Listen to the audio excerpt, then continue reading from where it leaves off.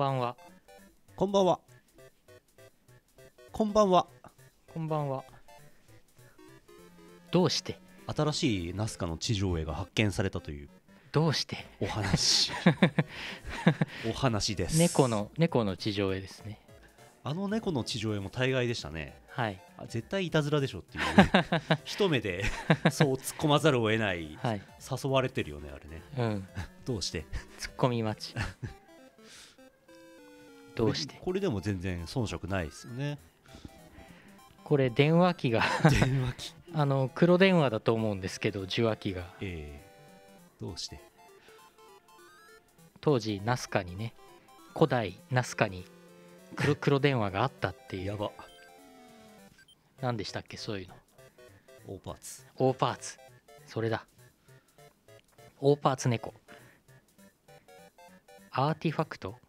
大パーツ大パーツ。いやイースターエッグ。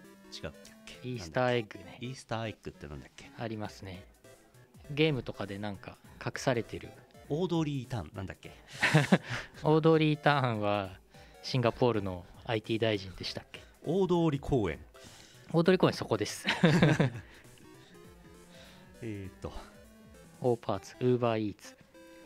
大パーツはなかったっていう話なんですけどはい。なんか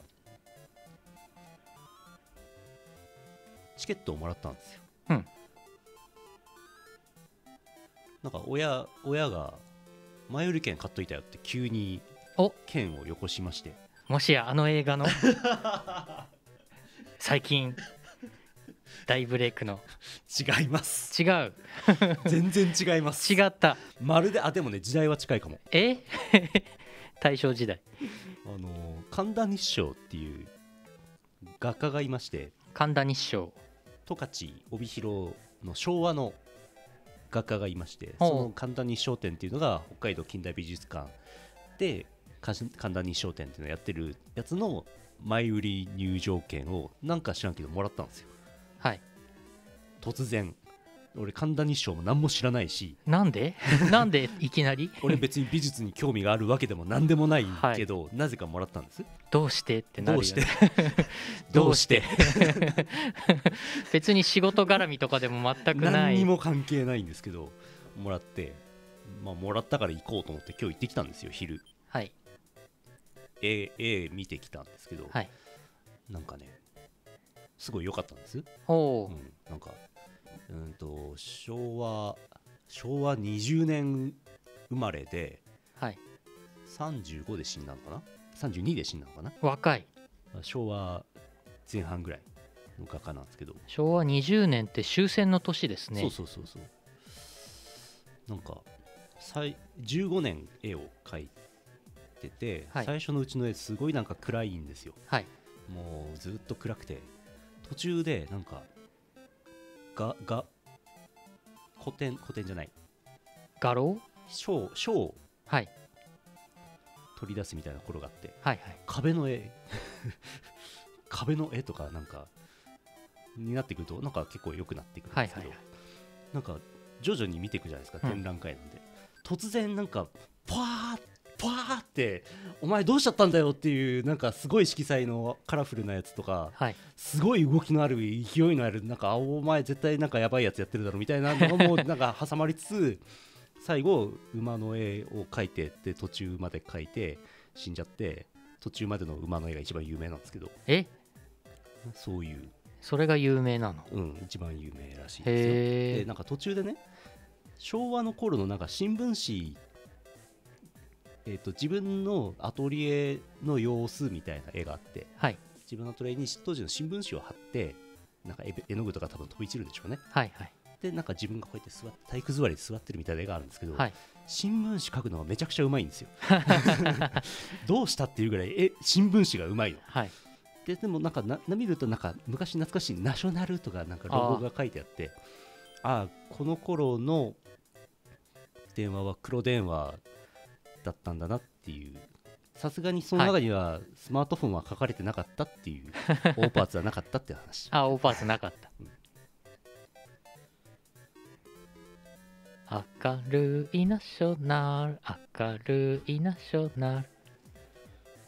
うん、最初のすげえ暗い家からねなんか突然ファーっていうやつ見るとねお前どうしたんだよって突っ込みたくなりました。疲労がポンと取れる薬が当時まだ合法だったんじゃない？帯広にあるかな。農村に。ああ。そうスマートフォンね。スマートフォンの画像なかったっけ？逆に大麻とか消しが自生してたっていう可能性。そうか。タイマーやってたのか。ほらスマートフォン。スマートフォンだ。大パーツだ。白電話だ。黒電話ですらない。うん。これがさっきの地上絵に書かれてたやつですねきっとねこれが？えっ、とこれですか？これですね。つながった。うん。スマート。馬かっこ半身。半身。半身。馬。れ0.5と。半身っつっても前前半ですからね。前半。頭頭と腹までですからね。あお尻の方書いてないの？お尻の方が書かれてない、ああ。うん、馬の兜焼きですか？うん 半身揚げですね。さておき。さてといやいやそれはいいチケットもらいましたね。急にいいチケットをもらいました。理由はわからない。いやなんかついでに買ったんじゃない？ああそっか。神田日照って全然存じ上げませんけど若くして亡くなった天才というやつですね。そうだね。昭和とかあの昔の頃はよくいますよねそういう人ね。うんお尻に興味がなかった。でもなんか男女男とお裸の男と女が抱き合ってる絵のすげえ抽象的なやつとかもありますよ、あそうなの、うん。エチエチなやつ。うん、あと馬の絵はいっぱいあってあっててなんかめちゃくちゃ痩せた馬の絵とか、え？うん、馬の絵をあの農農家だったので。農業をやってたので開墾？開拓し開拓？へえ。してたんで馬とか。獣。獣ドゥ獣ではない、当時の最先端のうん、獣。当時まだピクシブなかったですからね。まだなかったですね。ピクシブがあればな。インターネットすらパソコンすらないよ。ピクシブがあれば何でもなるどうにかなるピクシブがあればいいねとかコメントとかもらえてうん。もうちょっと頑張れたかもしれない。ねでも、まあ絵を勝手に使われてグッズ化されて勝手にお金儲けされるかもしれないよ。半身の馬で。半身の馬で。半身って。うん。鳥じゃないんだから。あやります？ーやります？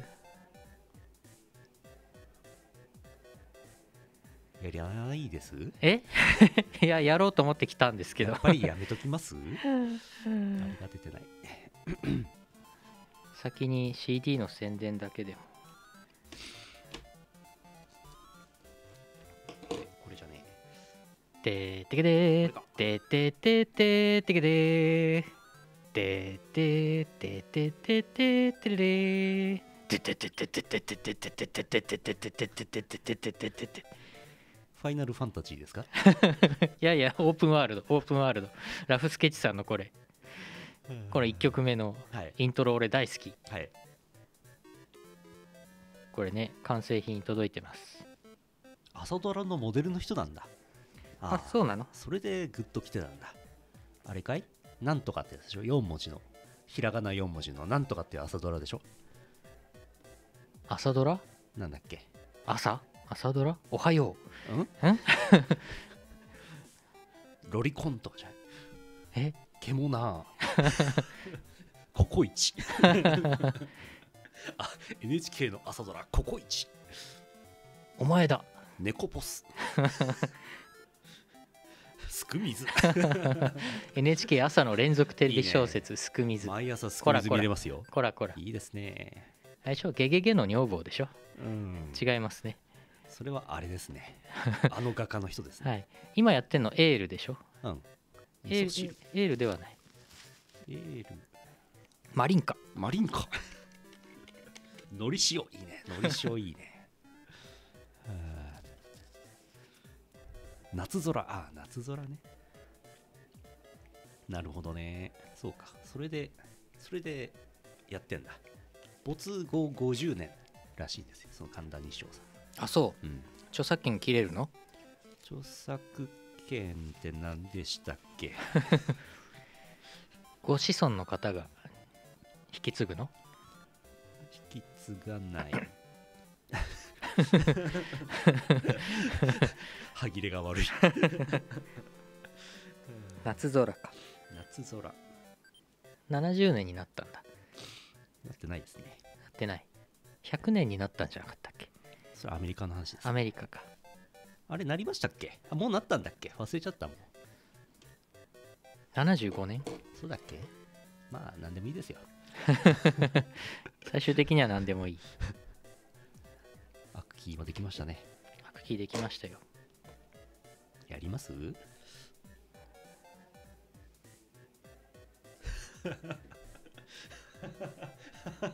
完全に一致 石川県ってちょうどいい形してるよね。そうですね。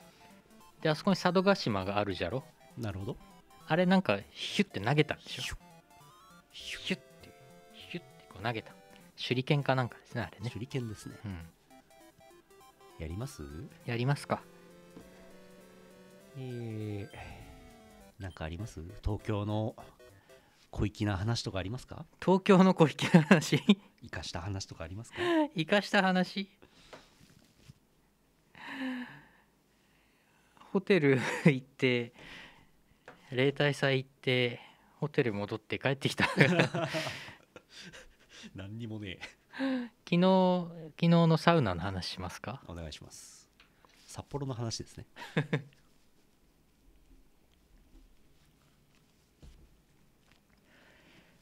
昨日ジムに行きまして一通り筋トレしてウォーキングしてその後ジムのサウナに入ってたらあんまり広いサウナじゃないんですけどせいぜい34人しか入れないような。でそこで俺一人で入ってたら後からもう一人男の人入ってきてでまあソーシャルディスタンス取って端っこに座っていたんですけどその男の人の方から1分ぐらいしたら寝息が聞こえてきてえ？えここで寝寝たらやばいのでは？干からびてしまうのではってちょっと心配になってふってその人の方を見たらあのなんかあぐらかいて座っててこのサウナって段々になってるでしょ？一番上にあぐらかいて座っててでなんかほーって息の音をしててでなんかあれこれなんか瞑想でもしてるのかなと呼吸を整えて。でなんかあの頭はスキンヘッドに沿っててひげが結構立派に生えててなんかああ修行僧の方かなとかああ熱の呼吸の使い手の熱柱さんかなとかいろいろ考えてたんですけどなんかずっといるから俺一回外出て水風呂とか入ってまた戻ってきてもまだずっといるから本当に寝てんじゃないかなと思って心配になってでもよく見たら手の形がこうなっててあのこうってあの ラジオだとちょっと伝わらない。この仏像とかがよくやってる。だから本当にあこれ本当に座禅組んで瞑想して息整えて体調整えてんだなと思って。そうかと思って。でなんかちょっと本木正宏に似てて本木正宏って今 NHK の大河ドラマで斎藤道山マムシの道山をやってたんですけどなんか斎藤道山に見えてきてああ道山さんかっけえなと思って。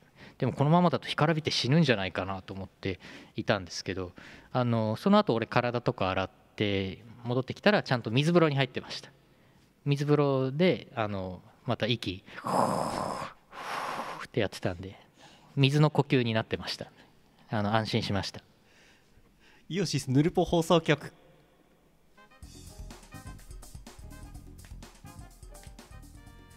2020年10月22日ツイッチ生放送10月23日ポッドキャスト配信第789回イオシスヌルポ放送局お送りするのは引っ越しの呼吸拓也と。出張の呼吸優のよしみですいやー大人気ですね。鬼滅の刃ねここまで流行ると思ってませんでした。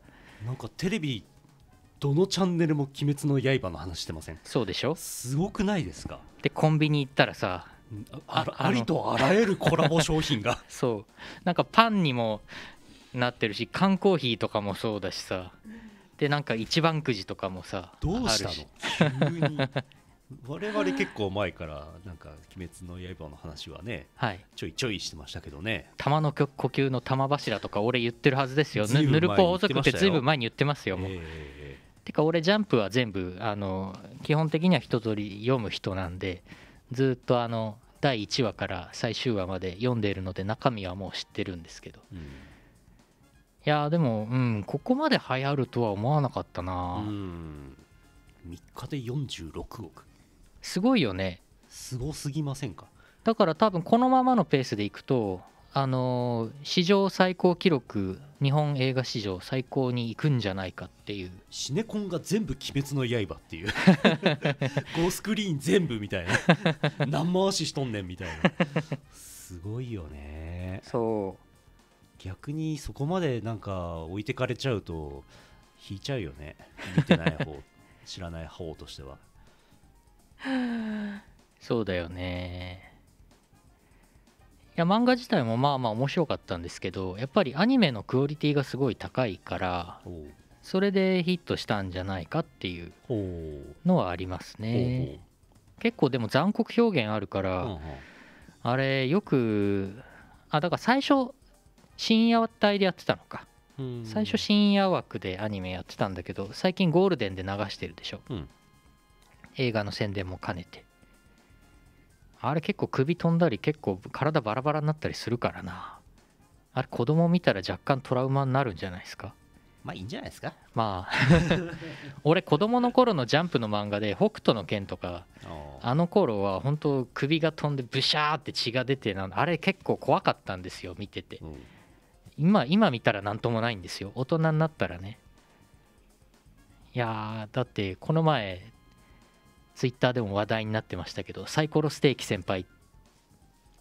そんなのありました？あの敵の鬼が雲みたいな鬼がいるんですよ。うん。で雲の糸みたいなので攻撃してくるんですけど雲の糸が硬いからあのそれで切れるんですよ。だからそれでこっちの味方のその首切られたりとかやれるんだけどその一人仲間の先輩が、うんこんな鬼なんて余裕だぜみたいに来て来てで雲の巣でパーってやられてサイはあサイコロステーキになっちゃうっていう。あらやだ。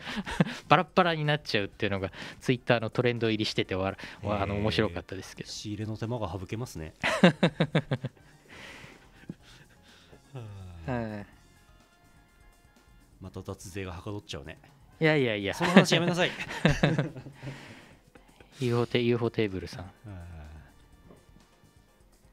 はい。はい。ひとしきり。ひとしきり。ひとしきり鬼滅の刃の話をしてしまったけど。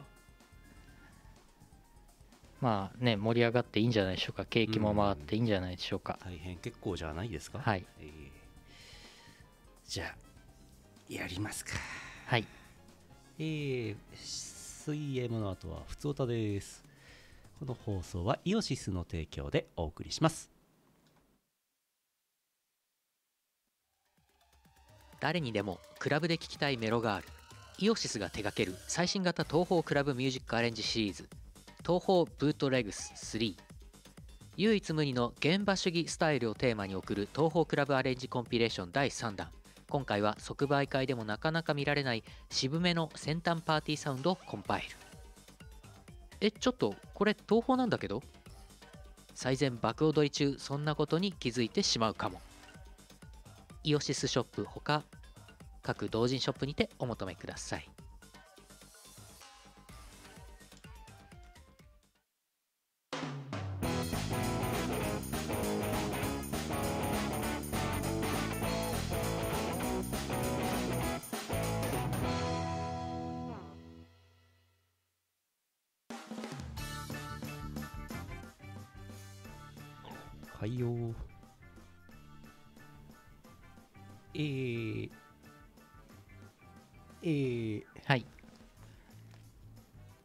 チャンピオンさん福岡県あざす。あざーす。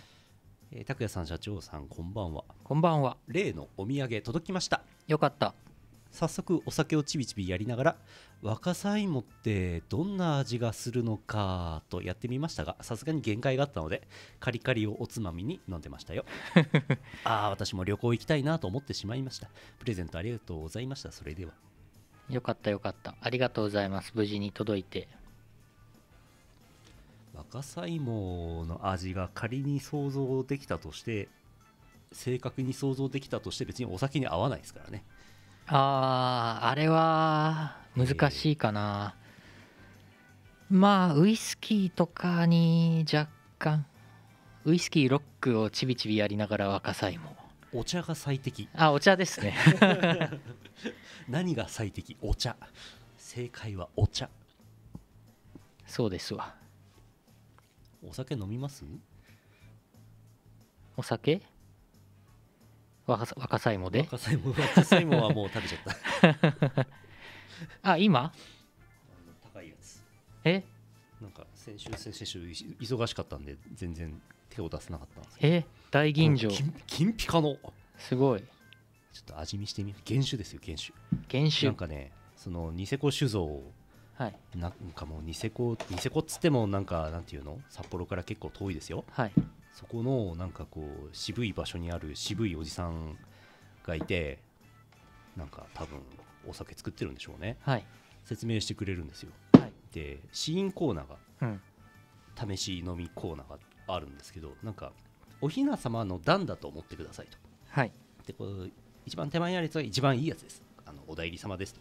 でだんだん下がっていくとだんだん薄まってきますと。え。でなんかそれを5回繰り返すんだって。はなんか全部で25レベルあるんだって。あはあ。それの一番いいやつがこれです。えー、一番いいやつ。やばい。4号で3600円します。高い。高い。よいしょ。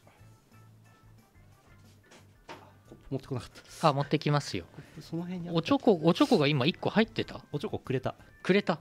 え？これで回し飲み昨今昨今のあれ的に回し飲みはダメか。あそっか。高い。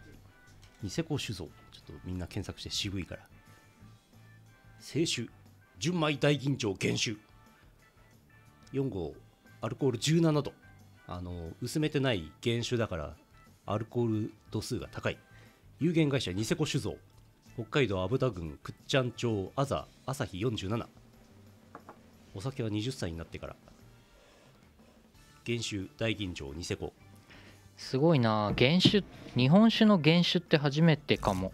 なんかねうん。はちゃめちゃに薄めるんですってこれを。そうなんだ。じゃあどうにか。味見味見だけだよ。別にの全部飲んでもいいけど。グイー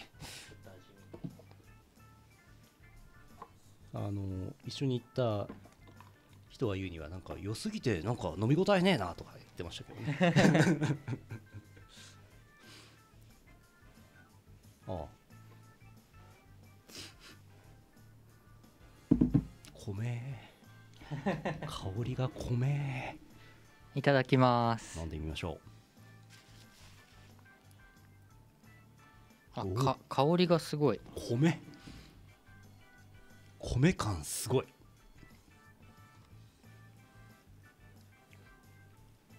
あすごい。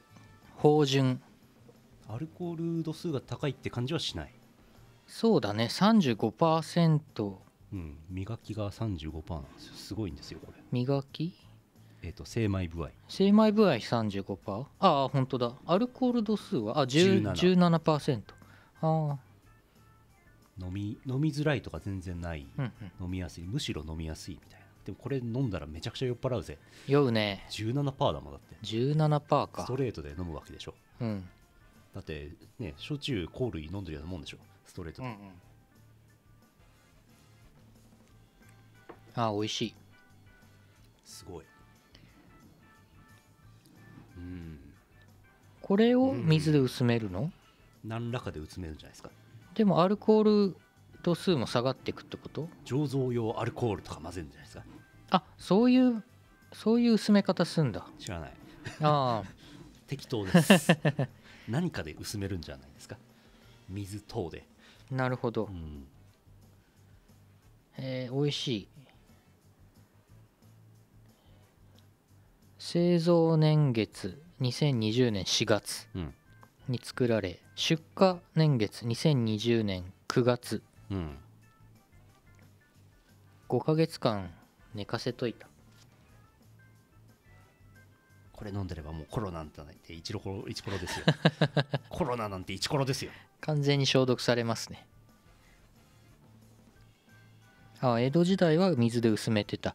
そうだよね。水で割って飲むっていう飲み方はあるんですよね日本酒もね、ワインだって水で割ったり炭酸水で割ったりするらしいからね。あの出荷段階で割ってるかどうかっていうね。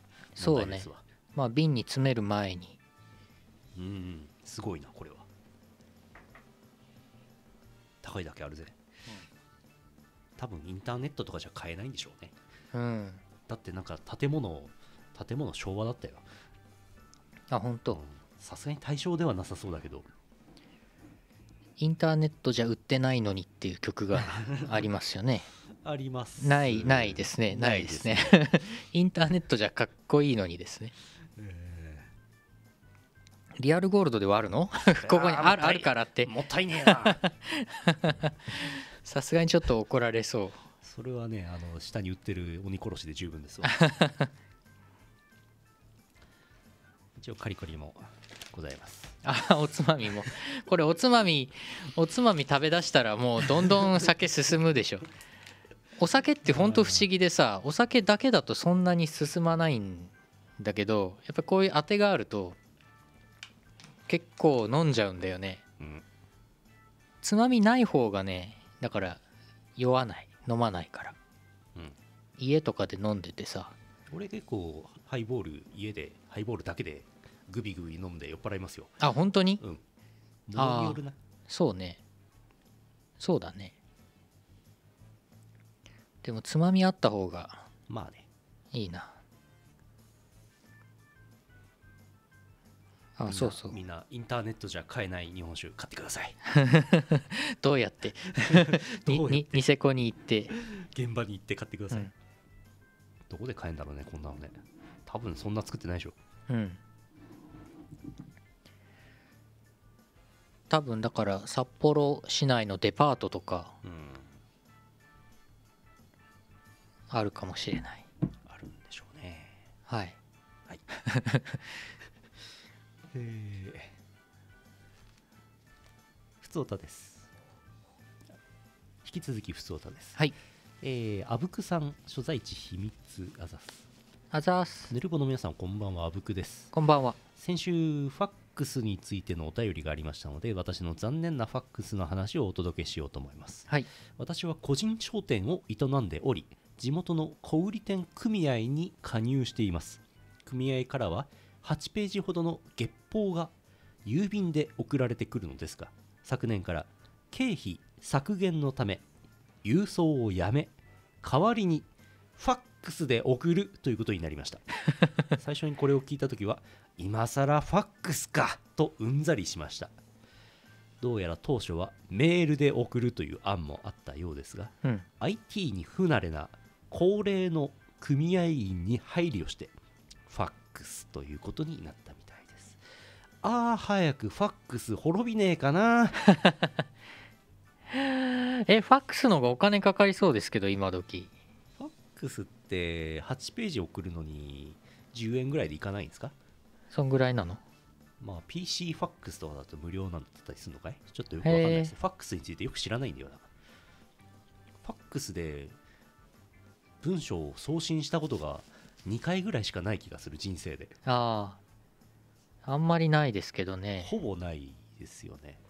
高校生ぐらいの時までですねファックス使ってたのね。ああでも結構かかるんじゃないか。どうだろう。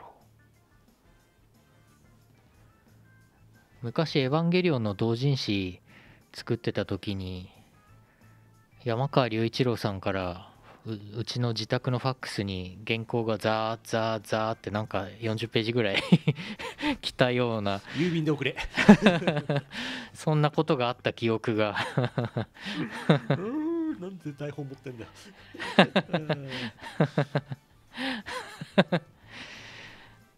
ネットファックス無料のなんか無料のだとなんか月何回までとかなんかそういうのは何回か使ったことがある気がします、はい。うん、でもね郵便でいいんじゃないですか？郵便の方が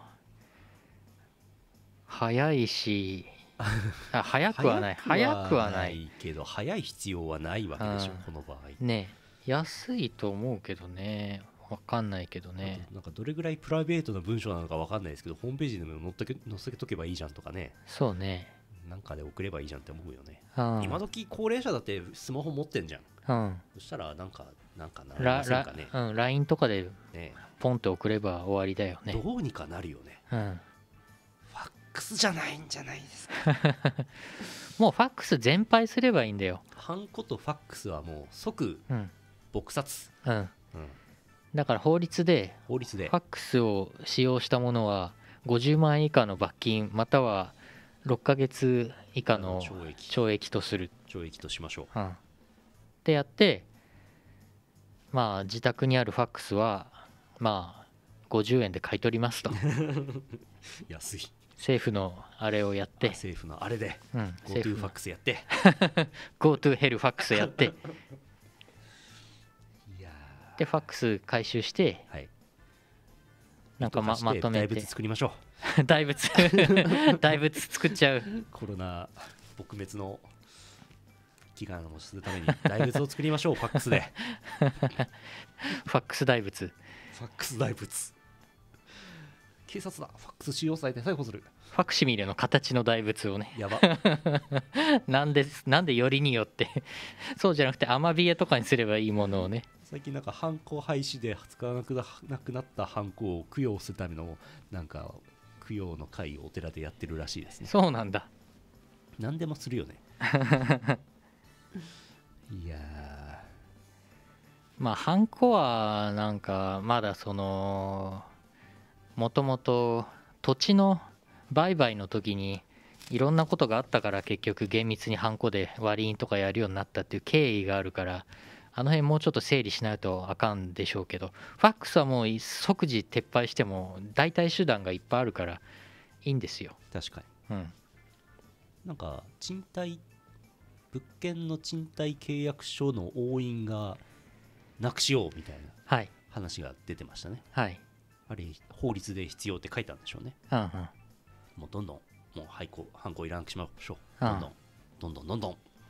そうしよう。うん免許証もだからマイナンバーと統合されて保険証も統合されてとかになるんでしょ？はい。早くなってほしいわ、早くなってほしい、うん。そのためのマイナポータル。はい。健保証マイナンバーカードが健保証健康保険証の代わりになるためには予約自分で登録しなきゃいけないんです。はい。だからマイナポータルにアクセスしてスマホで。はい。でマイナンバーカードをスマホで読み取ってマイナポータルにログインして健保証の代わりにするっていう予約のボタンを押してください。おおわかりやすい。その前に皆さんマイナンバーカードはお持ちですか？まだないです。死刑！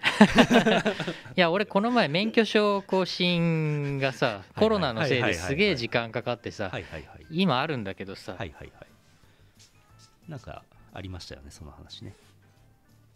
免許証とかいろんなものの有効期限がちょっと伸ばして免許証更新センターもえらい混んでるとかなんとかいう話は見ましたね。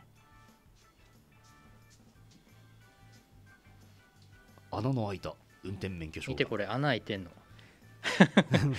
大事なところを隠しているから全然わかんない。全然わからないし絵がちっちゃい。全然わかんないけど。なんなら後ろのカバの方がでかい。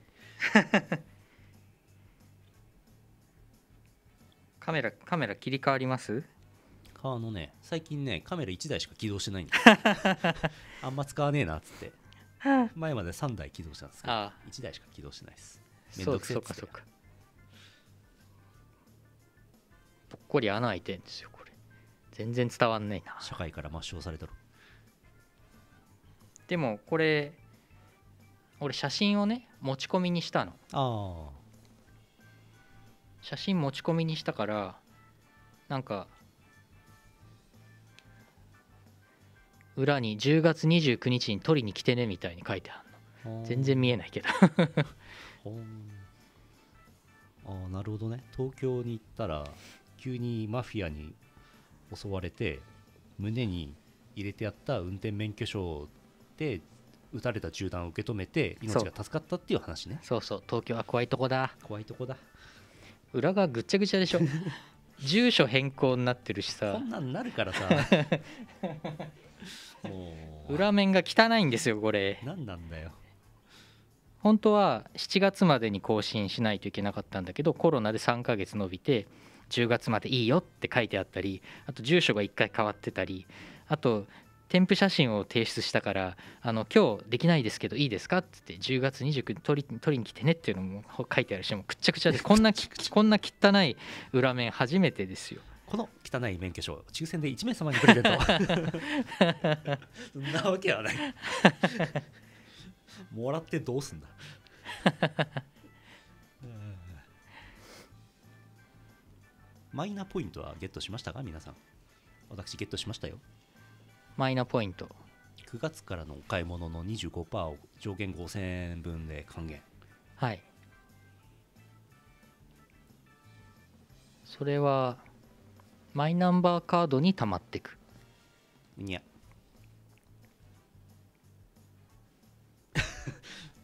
ハテナがいっぱい出ましたね おやおやじゃあなんでマイナポイントって言うんだろ それはアカウントに溜まっていく。うあの紐付けた、えー、と例えばスイカとかあクレジットカードとかナナコとかああ。なんとかペイとかあはいはい。いうの方のポイントになります。はいはいはいはいなるほどね。あそういう感じか。スイカにしようと思って紐付けてあったんですよね。いいね。でえっ、とマイナポイントがつきましたっていうお知らせ来たんで、うん。よしじゃあえっ、とポイントを JR 東日本のポイントをスイカのチャージに変換しようと思って。はい。よし手続きするぞっつってやったんですけどうんざりしました。え？うんざりしました。なんで？大変だったの？めんどくさいの？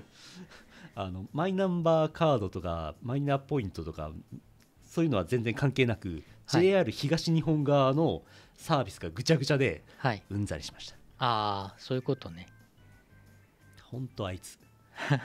ほんとマジ。JR 東日本。勘弁しねえぞ。まあちょっとわかるかな。うんちょっとめんどくさいんですよね。あのなんだっけオンラインスイカじゃないしなんかそういうのモバイルスイカとかね。モバイルスイカ。なんかその辺俺なんか使ってますけどなんか JRE ポイントとかもなんかあってよくわかんないんだけどこれは結局スイカの現金にできんのかなどうなのかなって思いながらなんかよくわかんないから放置しちゃってますけどそういうことがよくあるんですよね世の中ね。はいポイント系は本当によくある。今からまず紐付ける人がいればもっと簡単なサービス使ってください、あそうなの？ええもっといいやつあります。ほんとええ。なんかローソンポンタカードとかもさローソンポンタポイントとかさついてさ期間限定ポイントが2000ポイントあってあと3日で執行しますとか言ってさで何に使えるんですかっつったらさいやこれは現金には使えないみたいなさ現金で買い物する時には使えないみたいな期間限定ポイントは使い道が決まってますとかって書いて詳しくはこちらって言ってリンク辿ってってもよくわからない。あのプロモーション手法を考えたやつ死刑。今日死刑多いな、死刑またはうん。100万円以下の罰金とする、うん、100万円くれるならいいよ。勝手に期間限定ポイントをつけといてそれが勝手に期間限定で期限が切れて執行するからってお知らせしてきやがるっていうね、はいあの考え。ポイントカード系はおしなべてまあよろしくないのが多いですね。いいのもあるけポイントカーどド全部死刑にしたい俺。全死刑。もしくは100万円くれ。ポイントカードってさはい。ポイントカードを作る人しか儲かってないんじゃないんですか？はい。やめちまえばいいんじゃないんですか？まあ消費者側は面倒になるだけっていうおね、店側もそんなにね儲かってないっていうね。うん、最近ようやくスマホアプリが多くなってきたんであのロフト。あロフトってあの阿佐ヶ谷ロフトとかじゃなくてあのグッズとか売ってるロフト。黄色い方の。黄色い方。うん。ロフトのやつとかさ俺ご機嫌パンダのぬいぐるみとか好きだからよくロフトで最近よく買い物するんですけど、ポイント貯まるしああまあこれ使えるからいいかって。スマホだからあのカードが増えない、うん。一時期ポイントカードめちゃくちゃ増えたんですけど今はもうなるべくなくしてスマホでできるやつだけにしてますけどね。くれるポイントカード全部真面目に財布に貯めてたら財布こんな分厚くなっちゃいます。なったなった。立方体になっちゃいますよ、なったなった。うん。立方体になるわほんとあの名刺入れみたいなカード入れみたいなの俺持ってたけどボコってこんな分厚くなって。ボコ ほんとそう。ねえ。ーね虎の穴のポイントはログインするとグッズと交換できるんじゃないですかね。え多分。うん。本当あのポイントカードを最初に考えた人はさぞ儲かったんでしょうね。はああそうそう。免許証のさっきの話だと俺今回写真を初めて持ち込みにしたんですよ。あのいい写真にしたくて。スノーで加工した。そうそう。違う。いやスノーで加工した写真でいけんのかなと思ったんだけど調べたんだけどさすがにさすがにダメっぽかった。加工した写真はダメですみたいにどっか書いてあった気がする。でしょうね。イオポはもう滅んだぞ。イオポはなくなりましたイオシスメルマガもなくなりました。イオシスメルマがなくなってもう5ヶ月ぐらい経ちますけどああイオシスメルマがもあればよかったのにねとかイオシスメルマがよかったのねっていう声はい一回も聞いてませんね。何だったんでしょうか？懐かしむ声があればあれですよブースで。懐かしむ声があればファックスで送りますよ。イオシスメルファッマガをクスかい。ブースのメッセージ機能ってのがあって。ああはいはいはいありますね。それであの皆様に一斉にええ。お送りできるから。でも LINE アットで送ってっからな毎日な、そうだね毎日送ってたね。うん、いっか。いっか。この話いっか。まあでもブースでお気に入り登録フォローしてくれてるうん。けど LINE アットとか登録してない人もいるかもしれないけど一人ぐらいじゃないですか。まあいっか。この世に。いろいろありますからね。昔はメルマガというものがあったんじゃ。あったんじゃ。あそうそう。なんだっけ。うん言いかけて毎回止まっちゃう。だから持ち込んだ写真で。持ち込んだ写真で免許証を更新しようと はいはいはい。したのでその場合は当日交付はできませんと。はい。なんか2週間ぐらいかかりますよっていう話。でもなんか言われたのは3週間後ですねって言われた。ええまあコロナの関係でいろいろと,、すごいな。えー、と3週間というか20日後ええになりますって言われた。それなんか印刷所とファックスでやり取りしてんのか多分。な しんどいな。今時そんなんだって免許証をその場でもらえる場合はさその警察署とか免許更新センターでうん。その場でパッて写真撮られてうん。はいじゃあこれでっつって。でそのあと講習受けた後そのまますって、さ出る。出る30分後には出てくんじゃん。で持ち込み写真の時はなんでそんな20日後になるのかさっぱり分かんなくてそんなスキャンスキャンしてフーってやってうん。あと同じじゃん。うん。謎なんだよね。すごい謎です。スキャナーがないのかな？スキャナーがないの？スキャナーまだ買ってないのかな、やべえ。それはしょうがない。うん、スキャナー届くのに3週間かかるんですよ。ああ。なんならもうなんならもうデジタルデータで送っておくようにしたいけどね。まあなかなか日本はそこまでいけないでしょうね。あ事前に送っておいてとか。でも今さママイナンバーカードは街中の証明写真機コーナーで申し込めるようになってますよね。ーはいはいはいなってますなってます。最初の頃はなかったよねまだねまあ最初っていつかわかんないですけど、はい。マイナンバーカードが生まれた時のこと僕らはもう忘れましたけど。結構前ですよ。はい。俺それでやろうかなと思って。ああいいんじゃないですか？したら早いんじゃない？早く早いのか分かんない。でも問問題は俺住所が変わっちゃってるからめんどくさいんだよな。うん。まあなんとかなるやろ通知カード自体がもう何年も前のやつだからな。そう通知カードはちゃんと大事に家に飾ってあるんですよこうやって。じゃあなぜ目早く申請をしなかった？通知カードを大事にするぐらいだった。らなぜ申し込みをしなかったのか。そういう人多いよね。や通知カードは大事にしてます。はい。通知カードもう使えないんですかっていう人結構いますね。何なんだって。でも通知カードの時ともう住所が違っちゃってるんですっていう俺はね。うん。でもなんか免許の更新がどうのこうのがあったから6月にこう誕生日だからはい。更新しなきゃなと思ってたけどコロナで更新できなくてみたいうんないろいろガタがバタバタしててなんか4ヶ月ぐらいまた経ってしまったんですよ、なるほど。まあ、これで10月29日に免許これ来ますから。やった。久々にゴールド免許になりますから。やった。それをもってしてマイナンバーカードを申し込むと。ゴールド免許。うん単純にほとんど運転してないだけっていう。どんな特典があるんですか？ゴールド免許。ゴールドポイントがもらえるんじゃないですか？ヨドバシゴールドポイントですか？10%返ってくるんですか？ヨドバシのクレジットカードで貼れば11%ですよ。いい話聞いた どんどんポイント貯めていこはい。あ嘘嘘ですよ。ちょっと信じないでくださいね。まさかし まさか信じる人いないと思いますけど一応ね。うじゃあブルーの免許証持ってる人はヨドバシブルーポイントがそんなのねえよ。はいやあはあ。嘘か。こんばんはこんばんは。ちなみにあぶくさんおまけあります。はい本当はこっちを読みたかった。え あ ここまで随分ずずいぶんお待たせしました。十数分。お待たせしすぎたかもしれません。ましてませんけどもね、えーファックスとは関係ない話。はい。以前マリオ35をスーファミコントローラーでプレイして配信されていた際にこのコントローラーだとスティックがないから作戦が選べない。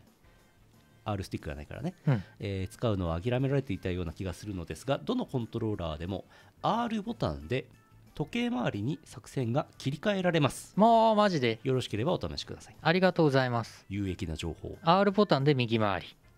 うん。L ボタンで。反時計回り。本当？わかんない。押してみようか。ありがとうございます。やったぜ。いい情報もらった。やったぜ。こんばんはこんばんは。ポルトガル？ポルトガル？ポルトガル語はちょっと喋れねえな。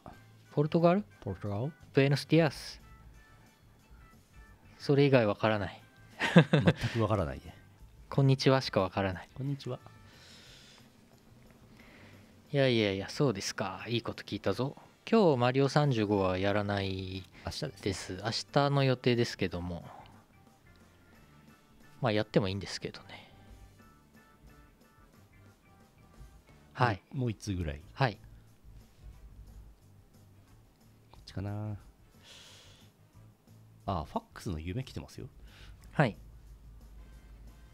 せっかくだから。マジで？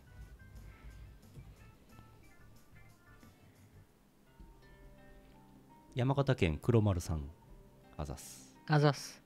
黒丸です。変な夢を見ました。私は外で段ボール箱を拾いました。中を開けると何も入っていません。この段ボール何が入っていたのかなと思って観察してみました。外側にはよくわからない言葉が書かれており国際宅配便みたいです。さらに見ていくと段ボールの隙間に紙が入っていました。中には当たり屋情報のファックスが入っていました。まだあるんかーいと思ったところで目が覚めました。当たり屋情報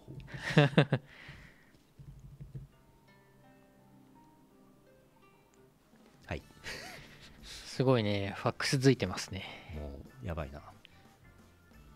ファックス送られてきちゃうな。皆さんからの普通歌をファックスでお待ちしてます。え？受信できね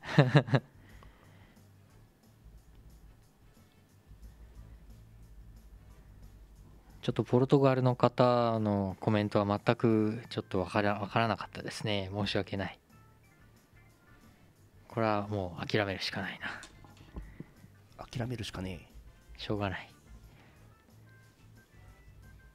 えじゃあ猫ですね。はい。えー、黒丸さん山形県普通歌はい。リクエストがあった猫の話です。おやった。猫の猫の。話だ。やったー。猫の話きた。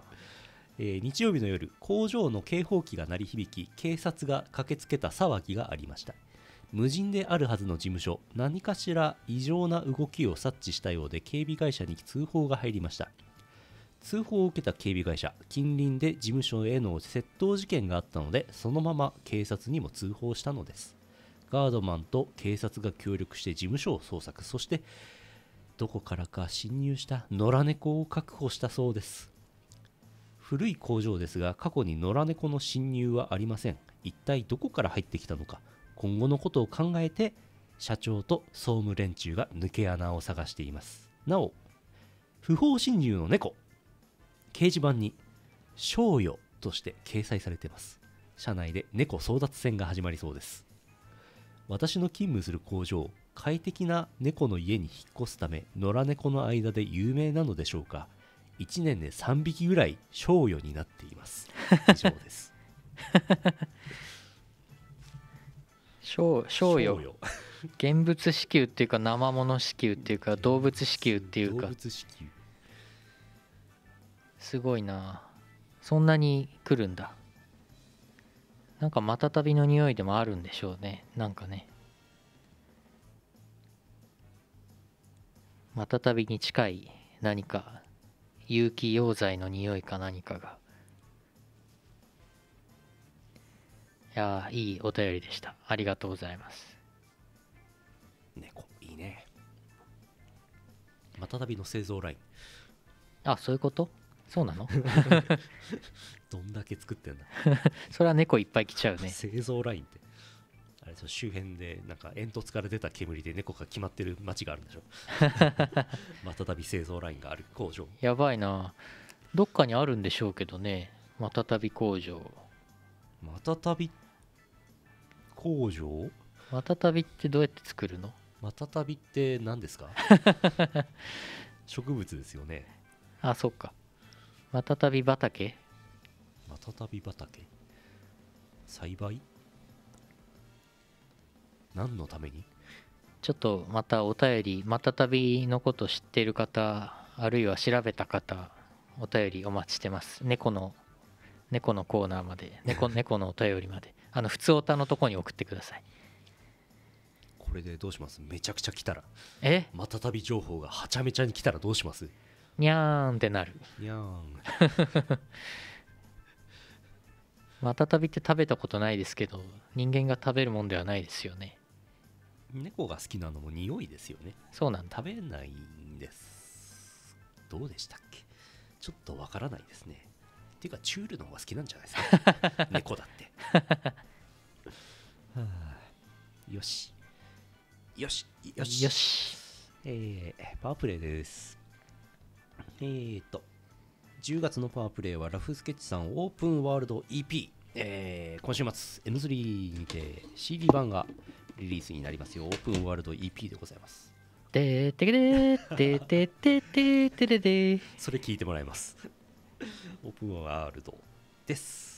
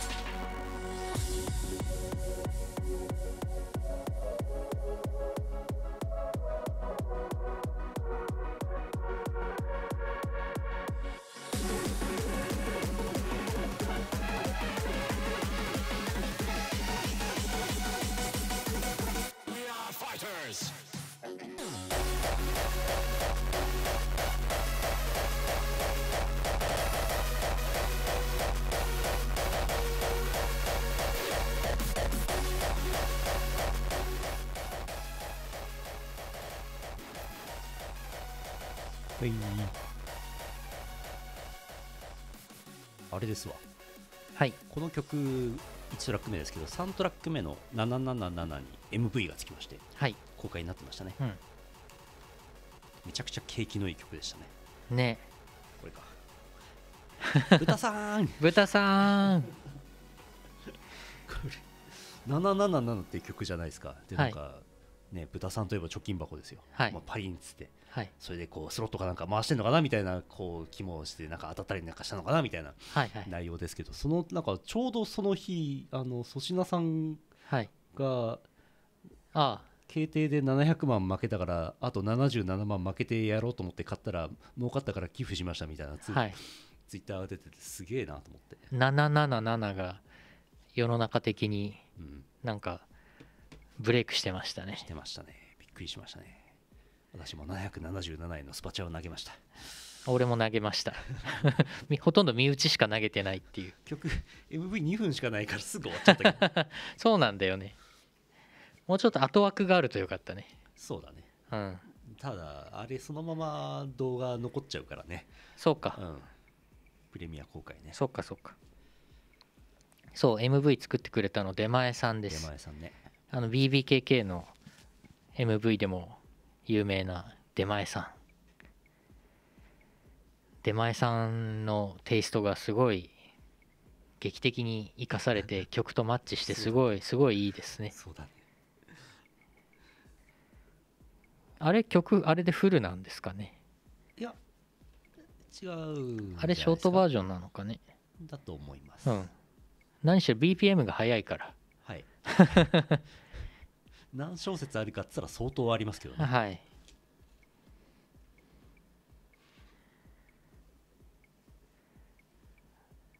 セブンセブンセブンってラフスケッチさんが呼んでましたね。なるほど。777まあどっちでもいいはずなんですけど。666の時も666って呼んでましたね。そうですね。英語で言ってましたね。フル尺は4分42秒ですね。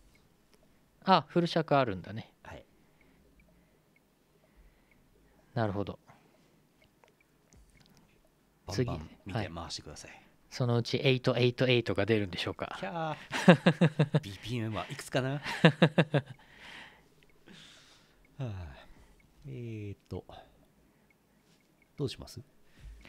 はい。もうゆもういいか？もう夢のコーナーもやったからもうエンディングいくのかなと。もうエンディングか？ヌルポ俳句か？俳句いきましょうよいしょセブンセブンセブン。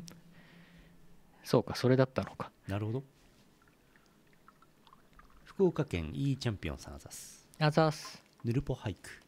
秋らしいお題で2つほど作ってみました。はい。肌寒い。そんな時には駆逐艦。やっぱり。やっぱり。解説駆逐艦で運動すると温まりますよ もう一つあります。おかずがない。もうあと一緒じゃないですか。あと一緒です。省略された。最初の上の句しか読まない。あと因数分解してもらって。なるほど。カッコでくくってね。うん。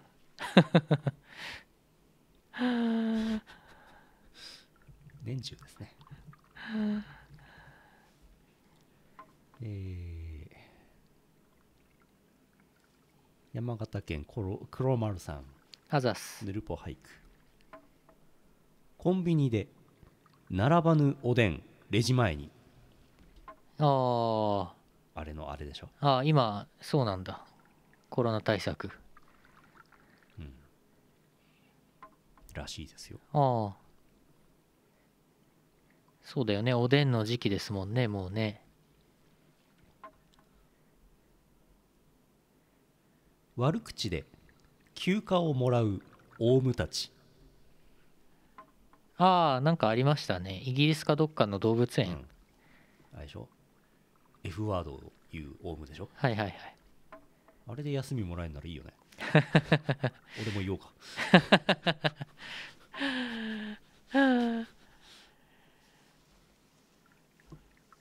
バンされちゃうっていうことだよねバンされちゃったんだよねあれはね。うん。オウムね。なるほどね。ヨウム？うん。腹さすり税率変更ビールバラ そうビール安くなったんでしょだかちょっとね。らうん。第3のビールとは何だったのか、はい。第3のビール高くなったんでしょ。うん、ゲロ高くなったんでしょ。そうなんでしょもともと発泡酒第3のビールこの話何だったんでしょうか果たして。いやほんとさ。もまあ俺はビール安くなったから嬉しいですけど。うビール飲まないな最近。ああハイボールが多いね。あのなんだろう。ビールあウイスキー買ってきてハイボール土着そう飲むんですけど、はい。あのなんだろう。薄めて飲むからめったに買わなくていいわけですよ。はい。ビールすぐなくなっちゃうじゃん。はい。容量アルコール薄いから。はい。なんかゴミ袋がビール缶だらけなんで嫌じゃないですか？わかる。あれなんとかなりませんかね？あれかビールサーバーでも買えばいいのか？あ10あリッターの。俺それ憧れてましたけどね。自宅にあれ欲しかったね。今はもういいかなってなっちゃったけど。うん。でもあのハイボールの場合もペットボトルが、うん。炭酸のペットボトルが大量に。いやー炭酸のなあれも機械も買うか買うまいかずっとなんか迷ってまあいいかってなんだよな、そうそう。炭酸の機械炭酸の機械はあってもいいかな。うん、今となっては買っときゃよかったなっていう。うん、買うか。買うか。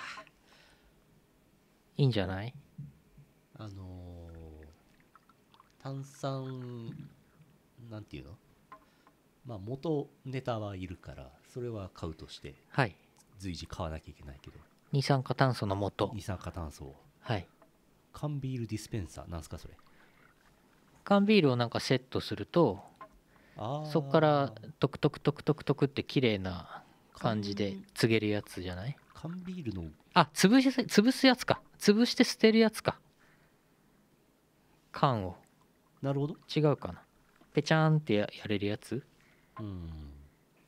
まあ俺ビール飲まないからいいや 炭酸炭酸メーカー買おう。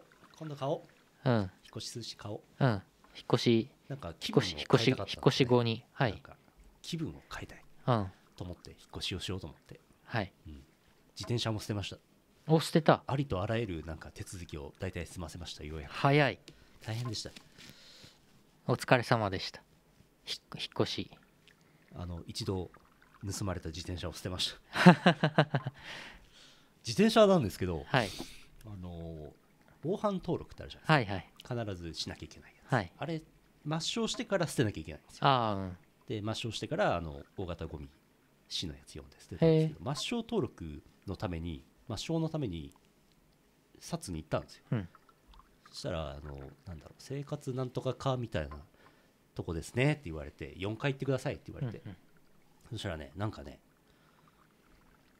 あの1回前別のとこでもう防犯登録の抹消しててその時は交番行ったんですよね。はいはい。そしたらなんかこう電話1個しかないような交番でなんかなんかしょぼしょぼの警官が対応してくれてはい。めんどくせえなとしか思わなかったんですけど 今回中央警察署に行ったの。はいはい。そしたらなんかね裏若き女子が出てきてはい。対応してくれたので、よかったです。皆さんも交番じゃなくてあのちゃんとした札に行ってください。そこ？そこそれしかない。ガールズバーか。サービスのさそれしかない。抹消されるの一緒だから。無料だから。抹消抹消するじゃん？はい。その場に自転車持ってくの？えっと、えっと、行った時そのなんか行ったら4自転車持ってって、うん。中央警察署止めて受付行ったら4回行ってくださいって言われて4回行ったらそのなんかちょっといい感じの若い女子が出てきて、はいああ自転車持ってきてるんですねって言われて、はい。またじエレベーター降りてはい。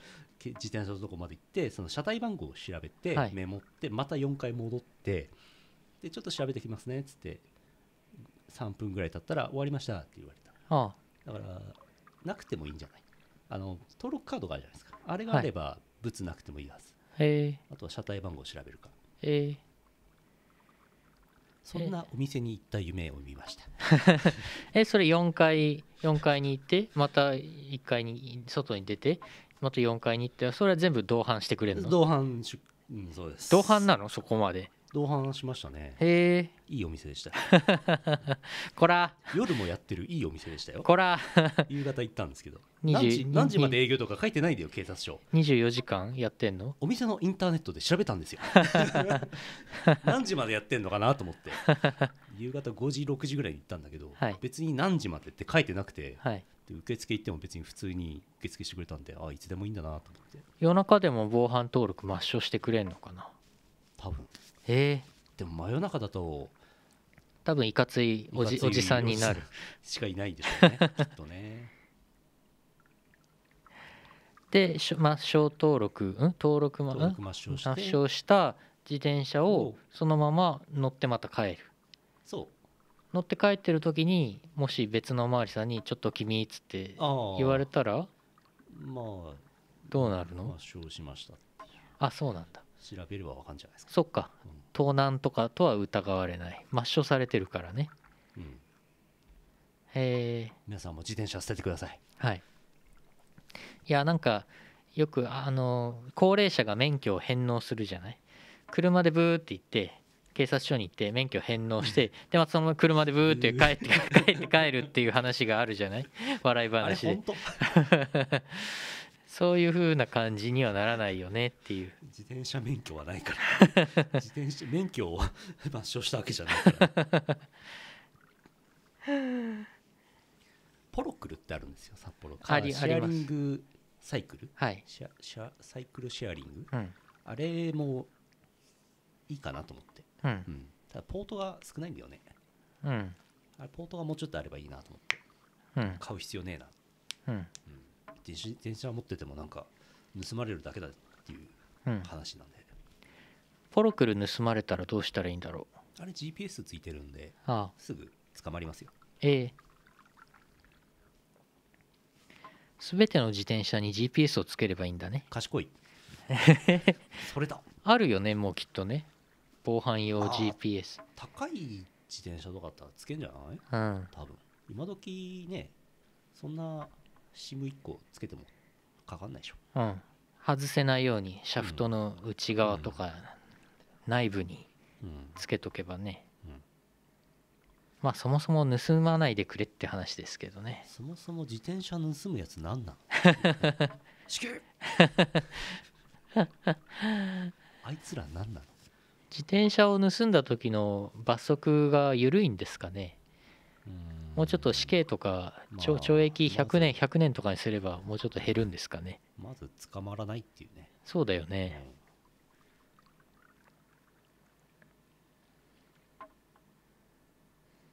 うん、うんそうそう。最近の車とかだともう通信手段必ずついてるじゃないですか、うんうん。あれああいう感じで高級自転車だったらつけんじゃないですか。なるほどえっ、とポロクルはあのドコモと提携してるので多分ドコモ回線使ってると思うへえすげえ。そうなんだ。D 払いができます。へえ俺自転車乗らないからさ。え自転車乗れないんですか？いや乗らない。18で引退したかあら引退したんだ、うん。そうかそうか。アーリーリタイアね。言い方。そうそうそう。高校の時ちょっと自転車で通学してましたけどねえあの距離を？あはい。結構遠くないですか？そうでもない。えーと遠くないですか？7キロぐらい。まあまあありますよね。20分ぐらい。片片片道。まあ20まあ25分ぐらいかな。うん。めっちゃ頑張って朝飛ばして20分。汗だくになってましたけねど、汗だくになっちゃうっていう問題がありましてね、うん。自転車通学。自転車はもう18歳だから23年前に引退し車の運転も今ほとんどたまにレンタカーとかするぐらいだからアーリーリタイア。アーリーリタイアし。免許返納。免許は返納しないしない。ゴールド免許だから。ポイントつくから。そうか。そうしようそうしよう。よし終わり何の何の川柳だっけってあなあえっと俳句俳句は秋の秋のまだはい俳句をお待ちしてます。季語は自由にやってください。秋の季語だと思えば何でもいいです。はい。お待ちしてます。CM の後はエンディングです。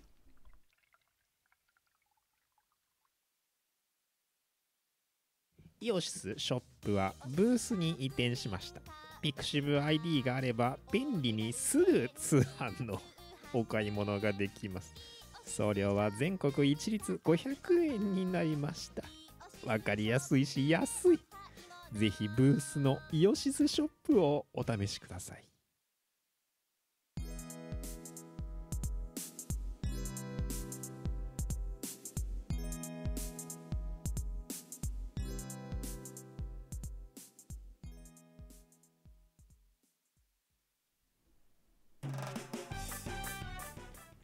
エンディングです。はい。例大祭ありましたね。はい例大祭お越しお越しいただいた皆様ありがとうございました。久々の久々の。即売会私。まあ先週1週間前にとあのコーロームが大阪であったんですけど私は大阪は行ってなかったんで、私は春の M3 以来うーん。かな？即売会はね。なるほど。ビッグサイト以来となるともう冬込みとか。そうですわそうだね。ビッグサイトはそう久々。10ヶ月ぶりとか。当日は秋季例大祭が西館でやっててあと南館で同じ日にコミック市うんうん。と、えー J ガーデうん。ンかな、J ガーデンってあれジャンプ系会？あのやってましたね。南で。東館はなんか使えないんでしょ？うん、うん、いや賑わってましたよ。あそう。うん。なんかヌッキーのブースに神主が現れたっていうはい。情報がありましたけど。そうそう。あの神主ズンさんとあとゼクートールさん。おあの「エトタマ」の原作でおなじみゼクートールさん。あの結構東宝界隈でも最近いろいろお仕事をされてますけどゼクーさんとズンさんの2人で会場を回っててヌッキーのヌキリゾさんのブースで「ここすごいですね」ってなって なんかしばらくそこで見てたっていう。ここすごいですね。うん、そう。っていう話がありました。なるほど。バンナムさんが太鼓の達人出してましてね。うんうん。えっ、ー、とゴッスンだっけな？なんだっけな？幹部。の先行私有。幹部か、はい。幹部で泊まってすぐ解けるか遊べるようになってたらしい。あとうん。あとこれツイートしようと思って忘れてたけどは博士と俺で会場内歩いてたら、例大祭の公式生放送をやってるブースがあって、こんにちはって言ってたら、ああ、イオシスのって言われて、で、百花繚乱さんっていう方がね、MC でずっとやってて、なんかあれずっと長いこと生放送当日やってた。したらなんかプロデューサーの人とかも知り合いの人だったから「あお久しぶりです」っつって「ちょっとゲストで出ていきませんか?」って言われて急遽急遽？生出演。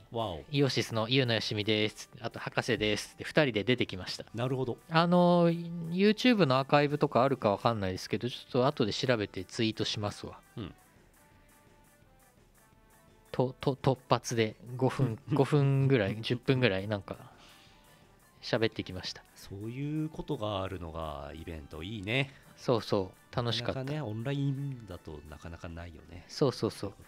百花繚乱さんとはね「ああ久しぶりです」っつってねあの10年ぶりぐらいですかねっつってあの昔テレビ東京の深夜番組のはい。クリエイーター。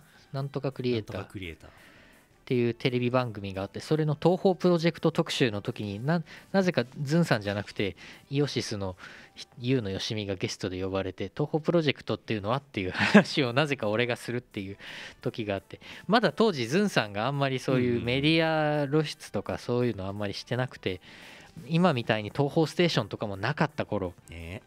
でなんかねその時の番組で共演して以来百花繚乱さんはだいぶ変わったね。ね。うん。なんか去年だったか東宝ステーションのスタジオではねちょっとニアミスはしたんだけどね、うん。はいはいはいその時は挨拶できなかったんだけど。いや久々でした。博士も実はいました。そう博士も午前中前半か第1部来てもらってました、うん。でもあんまりあんまり実は結構暇だったんで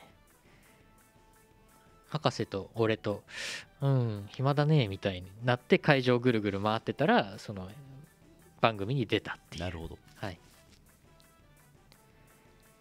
そんなそんな例大祭でした。あのー新作なかったんですけどポストカード配ってたんですけど新曲のロキノン東宝新曲のポストカード、あの結構皆さん来てくれてもらってってくれたんでありがとうございました。曲聴いたよっていうのをツイッターかなんかで言わないとボイドがすねますよ。あそうそうそう。ロキノン東宝新曲。ロキノン東宝新曲聞きましたとか感想とかツイッターでぜひあのシャープロキノン東宝うん。ってハッシュタグでもいいですしシャープロキノン東宝新曲でもいいですけどまあただシンプルにロキノン東宝でいいかな。カタカナ曲名書いてありますよね。書いてますね。あの本。あの秘密の。はい QR で飛べる秘密のページに、そうそうそう秘密っつってもね読めは飛べますけどね。そうそうそうよし。そううんなんで感想ぜひツイートしていただけると嬉しいです、おなしゃす。めちゃくちゃいい曲なんでまだ聴いてない方はぜひ聴いてください。こちらの MV10 年経ちました。ドラム缶ブロ型ドジッココンピューター BUG10 10年ですよ。年か当時ニコニコ動画に投稿してましたがはい。懐かしい。懐かしいですね。アルバトロシクスの後期に出てきた新キャラですよ。うん、BUG ちゃん。うん、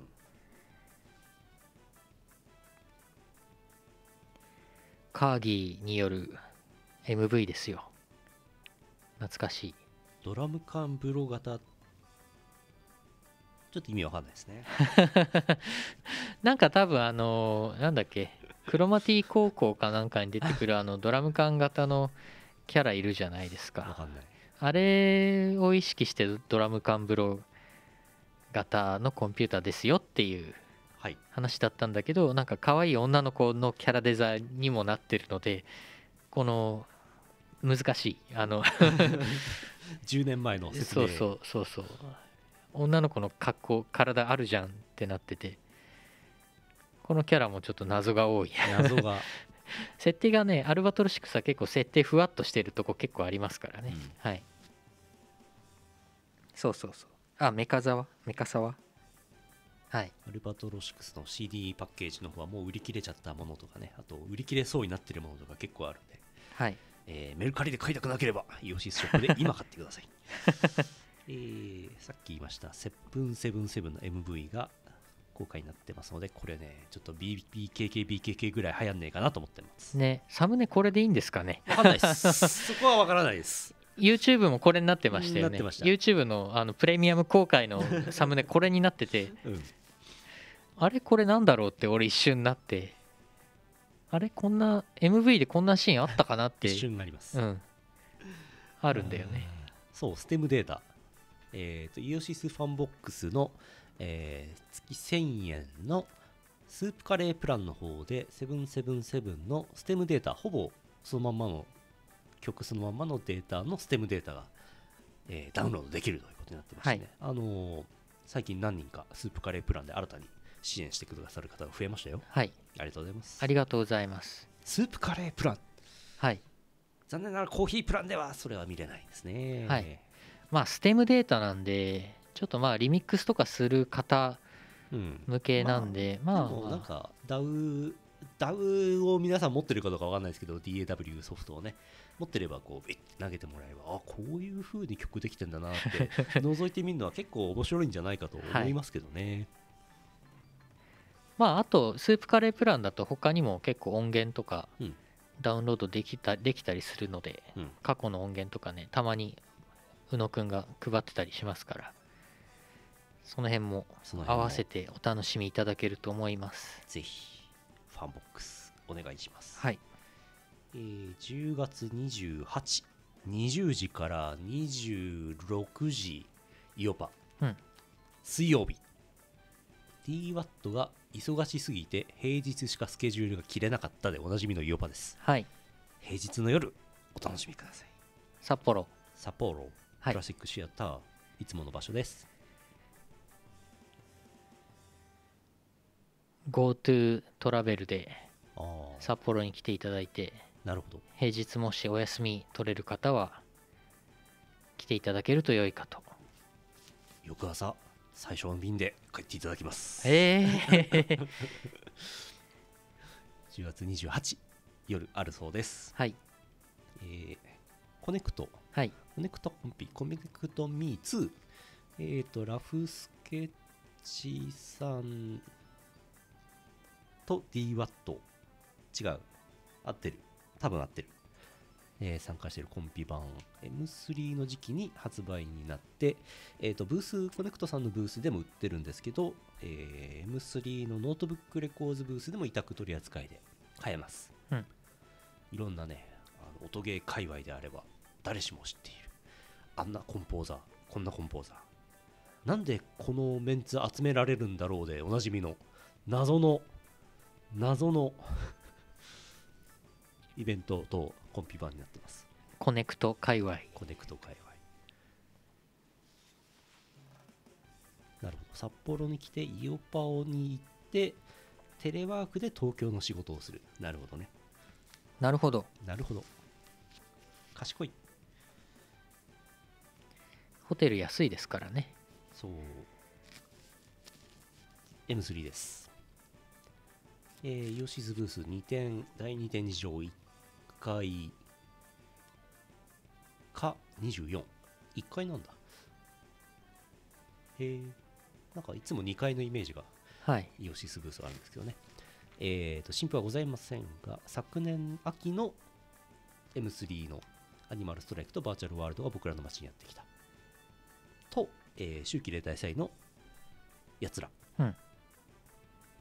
T シャツもう終売にしますから、うん。M サイズ。こちらもございます。売り子はボイドさんとユーノさんです。はい。ポストカードロキノン東宝のポストカードもうん。引き続き、まあ同じものですけど配りますのでぜひゲットしてください。M3 来られる方はマスクして来てくださいコーロームと例大祭で配ったやつと同じやつですけども M3 でもゲットできて M3 がイベントでは最後ですね。そうですね。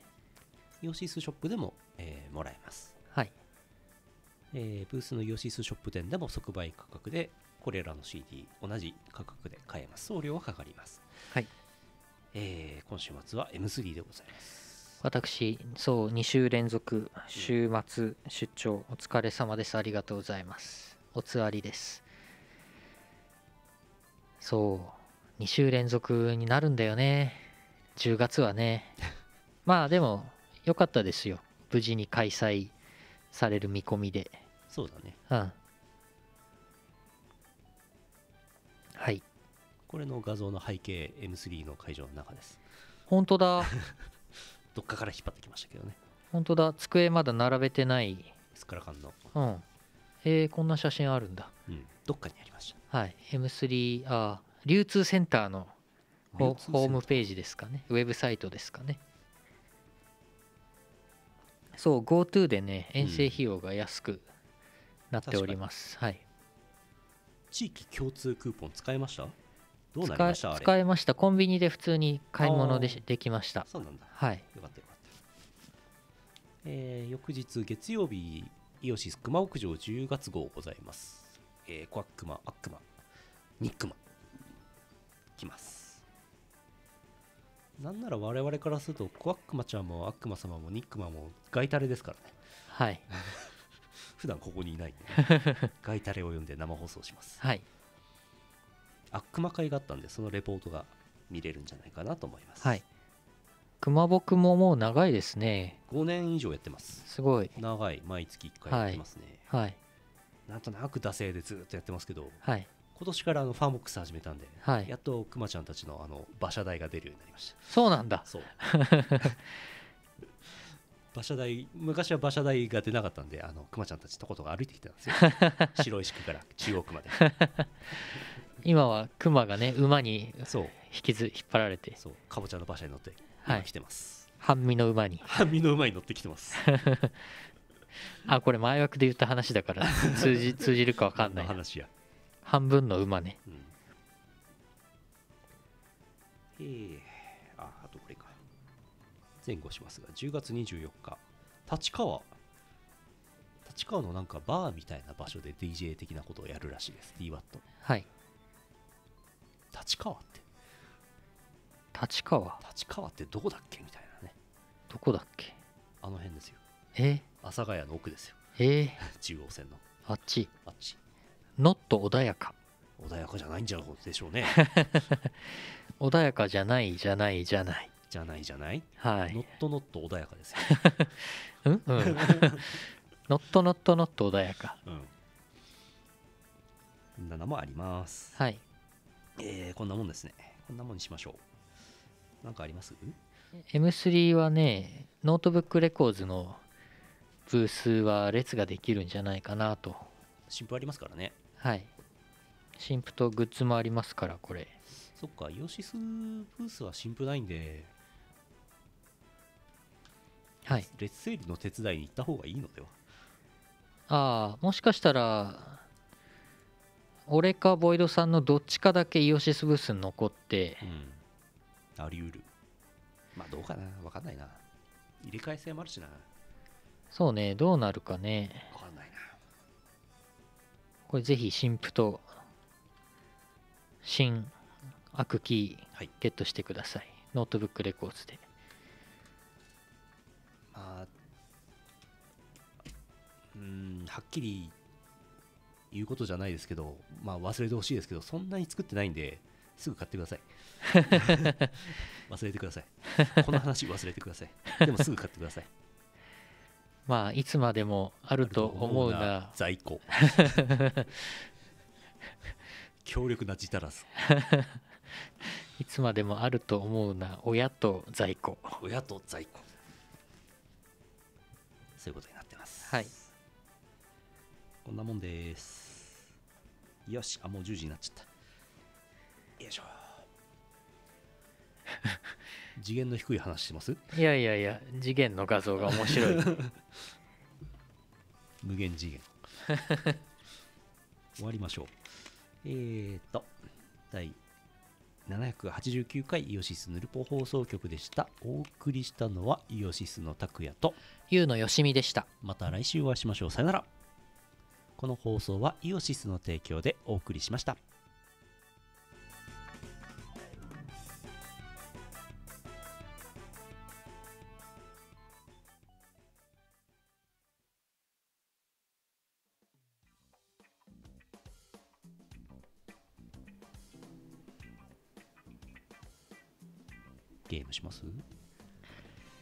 そうですねゲーム実況。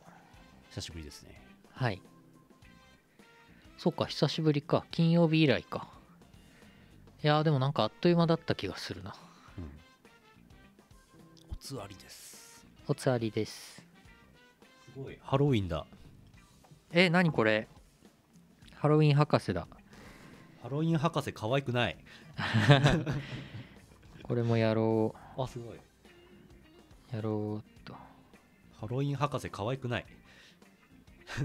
あれ出ない。あれ出ない。ボルさんに出てる出てる。あ出てる？ボルさんにかぼちゃかぶってる。あ本当？手元のあそっかスマホだとこれだと出ないのか。ハロウィンって10月末ですよね。そうです。そうか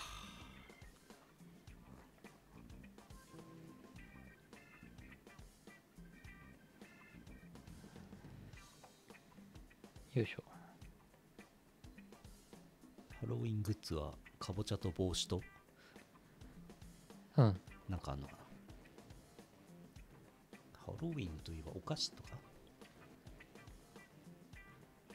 えーとこの2つだけかな。うん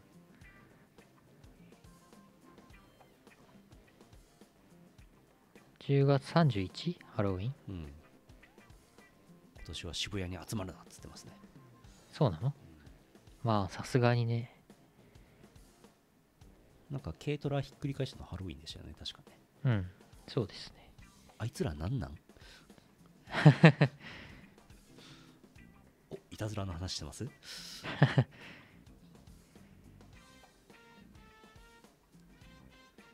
これボルさんの改造いいなこれ。うん。なんか無理やりでいいね。うん。はいじゃあはい。ゲーム実況、やりましょ今日はゾンビ。